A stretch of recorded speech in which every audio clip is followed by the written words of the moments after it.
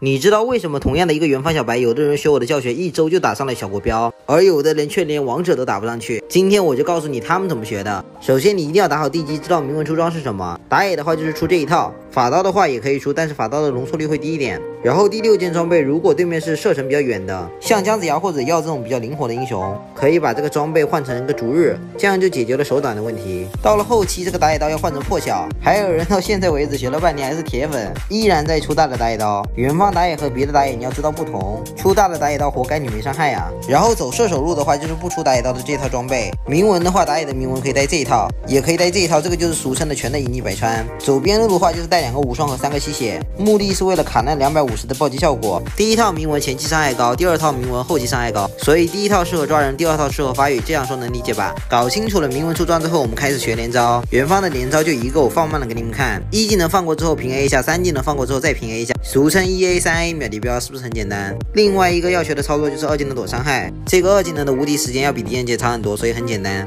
稍微练练就会了。学完这些，我教你们接下来学什么？第一个要学的就是刷野的技巧，在我的前两个。视频里面这个学好了都是你们的基础。接下来我和你们说不同分段该学什么东西。如果你在王者二十星巅峰一千八以下，只要学一个东西怎么反野，反野的那一套打法你学会了，到个两千分不是问题。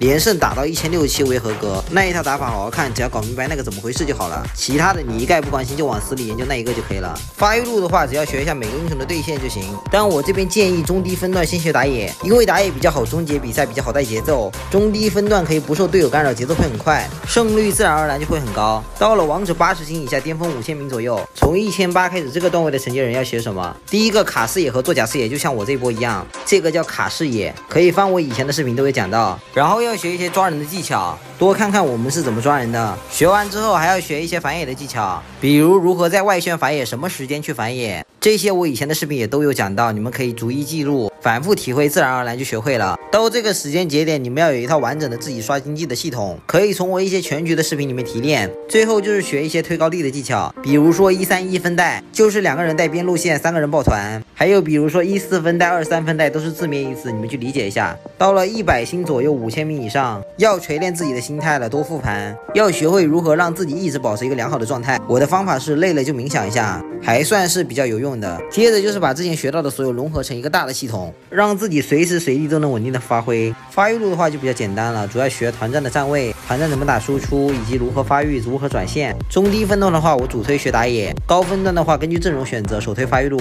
高分段的发育路肯定是要比打野简单的，差不多就这些。